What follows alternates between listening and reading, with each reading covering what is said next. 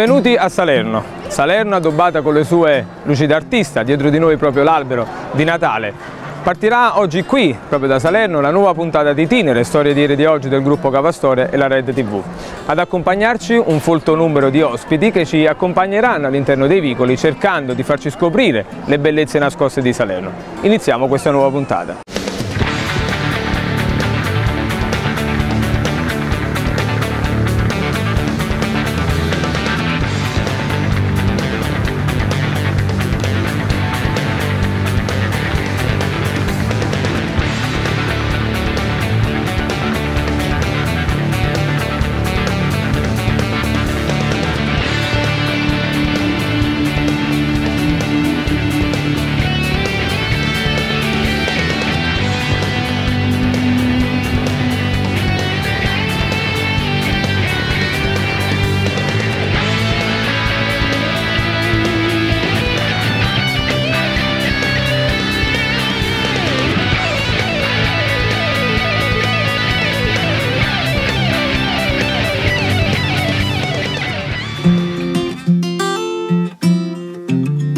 Siamo con l'amico e dottore Fabio Paolucci. Fabio, grazie mille per essere grazie. il nostro cicerone oggi. Grazie a te Aniello per eh, averci dato l'opportunità eh, oggi di percorrere alcune tappe importanti della nostra città. Fabio, ci porterai un po' a conoscere un po' le parti più nascoste di Salerno insieme a un gran numero di amici. Esatto, noi diciamo che ripercorreremo le tappe della passeggiata culturale, che è una nostra azione che parte dal meetup di Salerno.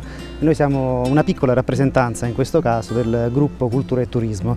Abbiamo qui con noi eh, Danilo Ruffo, eh, il mister Domenico Benivento, Mario Granozio e eh, Nicola Giovannone e ci attendono poi per le prossime tappe anche Natalia Granito e Serena D'Agostino e eh, percorreremo questo itinerario insomma passando per eh, il Duomo di Salerno, per Largo Campo, la chiesa dell'Annunziata, eh, Santa Trofimena, quindi le Fornelle e concluderemo poi al Giardino della Minerva. Perfetto, quindi un percorso abbastanza intenso, quindi è meglio partire subito. Assolutamente. Andiamo, andiamo.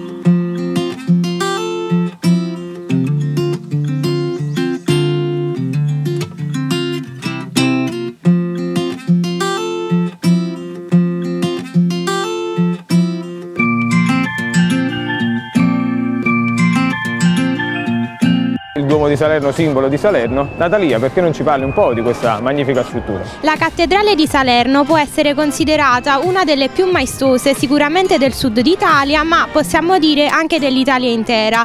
I lavori del Duomo di Salerno iniziarono nell'anno 1080 quando nella città arrivarono le spoglie di San Matteo. Vennero conclusi nel 1084, anno in cui la cattedrale fu inaugurata da Gregorio VII. Eh, il Duomo fu fatto costruire partire da... Roberto il Guiscardo che um, conquistò la città dopo averla liberata dai, uh, dai Longobardi. Nell'ingresso uh, presenta una scalinata marmorea a doppia rampa che risale al Settecento. Questa scalinata sostituì uh, la precedente di epoca medievale che aveva una pianta circolare. All'ingresso troviamo poi due statue raffiguranti due leoni, un leone e una leonessa. sono simbolo della, della forza ma anche del, della carità della Chiesa Cattolica. All'ingresso troviamo una porta in bronzo che è stata realizzata a Costantinopoli. Entrando poi ci troviamo di fronte a questo ampio atrio, un porticato a eh, 28 colonne di eh, stili diversi. All'interno del porticato poi notiamo dei sarcofagi all'interno dei quali sono, custo sono custodite le spoglie dei, eh, dei nobili nobili salernitani e degli uomini di chiesa. Al centro del, dell'ampio atrio possiamo notare una vasca in eh, granito eh, che originariamente veniva utilizzata come fonte battesimale. A sud abbiamo il campanile che appunto eh, presenta tre livelli e questi tre livelli fanno riferimento alla concezione che eh, si ha nella Bibbia dell'universo. Alla sommità si trova poi una cupola sferica che è simbolo della potenza divina. Ma adesso spostiamoci nell'interno del Duomo. Quindi andiamo a vedere un po' i suoi tesori. Esatto. Andiamo.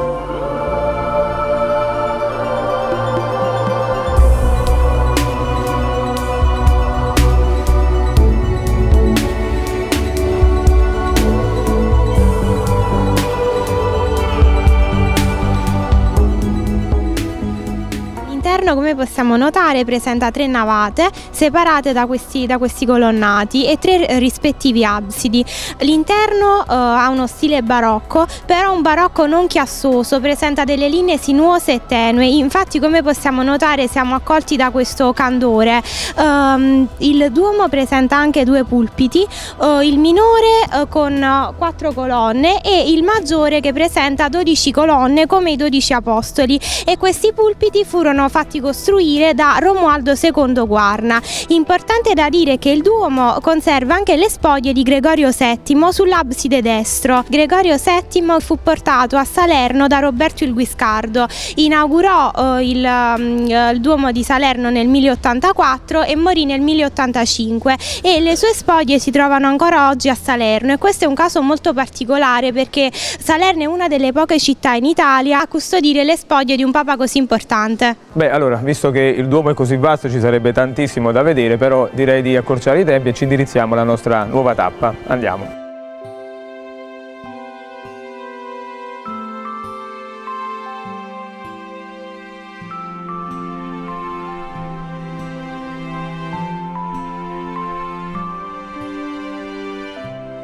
Lungo il percorso ci imbattiamo in questa meravigliosa fontana, siamo a largo campo. Appunto, altresì detta anche piazza del sedile del campo. Il sedile del campo era uno dei tre antichi parlamenti della città di Salerno. Eh, erano appunto tre: Porta eh, Rotese, Porta Catena e sedile del campo. Si chiama sedile perché perché i nobili si riunivano i nobili e si, sedivano, si sedevano su un sedile. Il capo diciamo, di questo gruppo di nobili, di questo Parlamento, sedeva invece sul seggio. Eh, e quindi appunto si chiama sedile del campo. Poi qui sorge invece una eh, dei, delle fontane più belle di Salerno che è riconducibile al Vanvitelli, subì parecchi eh, rimaneggiamenti nel corso del tempo proprio perché eh, subì alcuni danni, fu in parte distrutta nel, nel terremoto dell'80, i due delfini per esempio sono delle copie, però noi possiamo ancora vedere originali mai toccati i due mascheroni a sinistra e a destra e la vasca. Perfetto, allora direi di continuare questo nostro Andiamo avanti, prossima tappa, l'annunziata.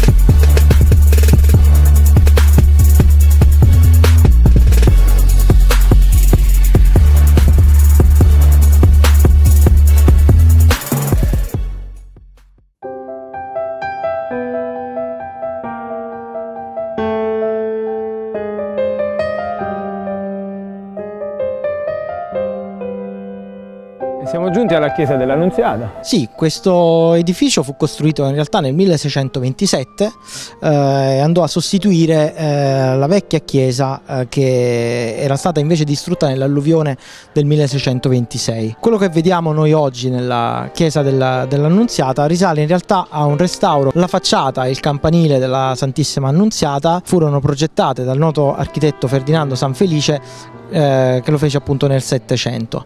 Questa chiesa poi fu anche eh, coinvolta nell'alluvione del 54. Sì, questa è stata proprio una delle, delle zone più colpite dall'alluvione del 54. Sì, assolutamente. Aggiungiamo anche che il campanile eh, si trova di fianco a via di Porta Catena, uno dei tre sedili della città dove si riunivano i vecchi, gli, gli antichi parlamenti e qui diciamo questa era un'altra zona dove appunto c'era un altro parlamento della città. Perfetto, adesso ci indirizziamo a la zona Fornelle? Fornelle, andiamo.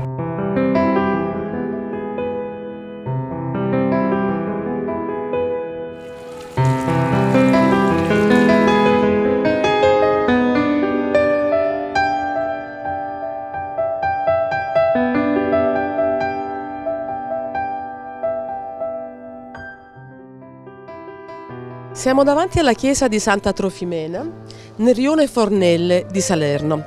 È uno dei rioni più antichi. La chiesa di Santa Trofimena è dedicata a questa santa, che era una santa della, mh, originaria, una martire originaria della Sicilia Si dice che il padre l'uccise perché lei voleva diventare cristiana e che il suo corpo arrivò miracolosamente a Maiori. Dopodiché ci fu una specie, una, una grande lotta per avere i resti di questa santa, un principe longobardo li aveva a Benevento e li volle restituire dopo le richieste delle, delle, delle persone di Maiori, restituì una parte di queste reliquie e si dice che questa chiesa fu costruita proprio per ospitare questa delegazione che portava le reliquie della Santa Trofimena. Il rione Fornelle è un rione che è stato molto colpito dall'alluvione del 1954, un'alluvione un eh, che fece un 500 tra morti e dispersi purtroppo e distrusse completamente il tessuto urbano di questa zona. Infatti, eh, se vediamo intorno a noi abbiamo dei fabbricati tutti abbastanza recenti e una parte della popolazione del rione fu eh, trasferita nella zona est della città. E ora continuiamo e andremo verso il giardino della Minerva.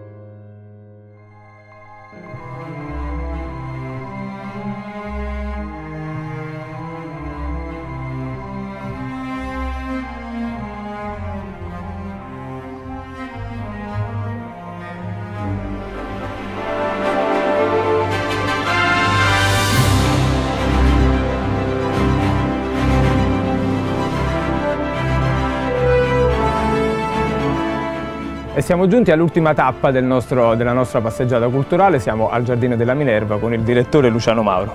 Direttore, grazie per averci accolto a questo, questo simbolo. Dovere, dovere, dovere. Innanzitutto siamo un orto botanico e quindi come orto botanico noi abbiamo questo collegamento con l'antica scuola medica salernitana e coltiviamo le piante che sono che appartenevano alla conoscenza terapeutica salernitana. Quindi questo è il nostro obiettivo. Non è un giardino casuale questo qui, è il giardino di Matteo Silvatico questo grande terapeuta salernitano che visse a cavallo tra il XII e il XIII secolo sì. e lui era un grande, appunto, un grande terapeuta e in questo giardino, proprio esattamente in questo luogo, lui faceva un'operazione fondamentale, faceva il cosiddetto ostenzio semplice, cioè mostrava le piante. A chi? Agli studenti della scuola medica salernitana e diceva agli studenti guarda questa pianta che è fatta in questa maniera particolare, che ha questo odore, questo sapore, si chiama in latino così, in greco così, in arabo così e serve per questa determinata eh, patologia. Allora questa operazione, cioè del mostrare la pianta, trasforma di fatto il Giardino della Minerva in primo esempio di orto botanico nel mondo. Per noi è importantissimo sostenere questo, questo, questo pensiero questa, e questa tradizione. Ovviamente lo facciamo, come voi avete visto, cercando di a, a, dire, eh, dare conto anche del fatto che è un bel giardino, cioè dire, non è soltanto un orto botanico punto, è un giardino che ha la fortuna di essere in una posizione straordinaria con questo terrazzo, esatto, un panorama mozzafiato, questi terrazzamenti che si poggiano sulle mura medievali della città. E quindi tutta questa cosa è come se fosse un coacervo di interesse e bellezza. E quindi questa cosa qua ovviamente il nostro compito, il nostro, il nostro onore è quello di, diciamo, di sostenerlo e di mantenerlo al meglio. Perfetto, poi un giardino che è passato con uh, vari proprietari ovviamente che si possono rintracciare nella sua storia, però è un giardino che lascia ancora qualche uh, bello spunto, ad esempio l'affresco che è stato restaurato da poco. E questo rientra proprio in questo lavoro che noi stiamo facendo, cioè quando tu lavori su un giardino che ha questa storia così lunga, cioè noi parliamo di 700 anni di storia di questo giardino, quindi allora è ovvio che la stratificazione della storia in questo luogo è veramente importante. Allora è stato giardino di Matteo Silvatico nel Medioevo, ma è stato anche altre cose e quindi nel Settecento ad esempio viveva in questo luogo non più un medico botanico, ma vivevano delle famiglie nobili salernitane e quindi in questo luogo, questo luogo lo hanno trasformato e quindi quel Trump Ale che lei segnalava e deriva proprio dal fatto che questo era un giardino di piacere a quell'epoca nel Settecento e, quindi fu fatto in uno dei, diciamo, dei vialetti, nel, sul finale di uno dei vialetti fu fatta questa sorta di prospettiva falsa che era appunto il Trump Ale e quindi fu realizzata questa cosa. E ovviamente per noi è molto importante tutelare le stratificazioni di questo genere, quindi dare modo alle persone di vedere non solo il giardino di Matteo Silvatico, ma anche quello che diventò poi dopo il giardino esatto. Oggigiorno come è curato, quali sono le iniziative? Eh, oggigiorno, oggigiorno innanzitutto noi lo curiamo come orto botanico, ripeto il concetto, quindi noi abbiamo qui vicino un vivaio dove produciamo tutte le piante che sono presenti nel giardino. Ah, okay. Il 50% delle piante, questa è per me una segnalazione che vi faccio, il 50% delle piante che noi oggi coltiviamo nel giardino per ovvi motivi, perché sono piante terapeutiche, sono piante annuali, quindi noi dobbiamo raccogliere il seme, conservarlo e riprodurlo l'anno successivo. Stiamo strutturati ovviamente con un gruppo di ragazzi che lavorano anche all'accoglienza, quindi il racconto del giardino viene fatto anche attraverso delle aule didattiche. Direttore, noi la ringraziamo per il suo magnifico intervento e la ringraziamo soprattutto per riuscire a ehm, far tenere ancora viva questa, questa, bellezza vera e propria di Salerno. No, ma dovrà essere sempre così, cioè, no, io come dire lo do come input, cioè, nessuno deve ritornare indietro da questa cosa. La città ha conquistato questo spazio, uno spazio che è stato conquistato relativamente da poco tempo e ora questo è un punto di partenza, cioè nulla deve accadere affinché questo luogo ritorni indietro in una indifferenza. Si deve andare solo avanti. Fabio, il direttore ci ha spiegato un po' tutta la parte del giardino, ma come si inserisce poi all'interno di queste passeggiate? Una di quelle l'abbiamo fatta oggi. Sì, diciamo che questa è una tappa importantissima per la città di Salerno, noi l'abbiamo introdotta nella seconda passeggiata culturale che abbiamo fatto il mese scorso. Eh, coloro che hanno partecipato, oltre un centinaio di persone, hanno ritenuto importantissimo questo sito e eh, la cosa che più ci ha fatto riflettere è il fatto che gli stessi salernitani non conoscano le bellezze che noi abbiamo a disposizione, quindi è necessario valorizzarle e renderle ancora più fruibili, ma soprattutto a noi stessi, prima che ai turisti che arrivano qui a Salerno. Fabio, lasciamo, chiudiamo questa puntata con la parte di intervento tua in realtà che ci hai un po' guidato su tutto il territorio chiedendoti, te lo chiedo io personalmente, di integrare qualche altro punto perché come ci dicevi prima passando all'interno dei vicoli c'è la, la, casa romana, ci sono dei, dei, punti un po' nascosti, quindi magari organizzare un altro percorso che tenda poi a mettere insieme questi punti importanti. Assolutamente sì, direi che è necessario e io penso che bisognerebbe organizzare una puntata per ogni sito culturale che abbiamo qui a Salerno perché abbiamo un patrimonio veramente di inestimabile valore magari in focus. Assolutamente sì. Va bene, grazie anche a te. Grazie a grazie.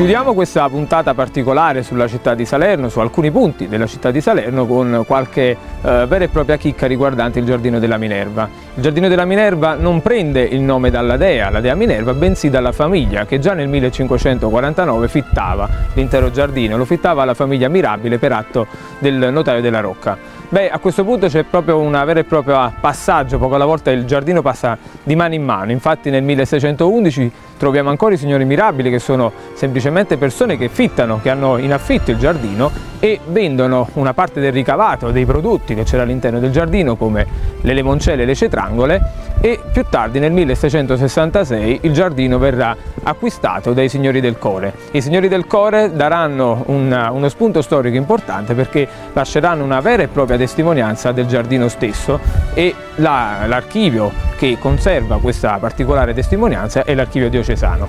Vi salutiamo con questo bellissimo panorama su Salerno, vi ringraziamo sempre per seguirci e ci vediamo alla prossima puntata. Arrivederci.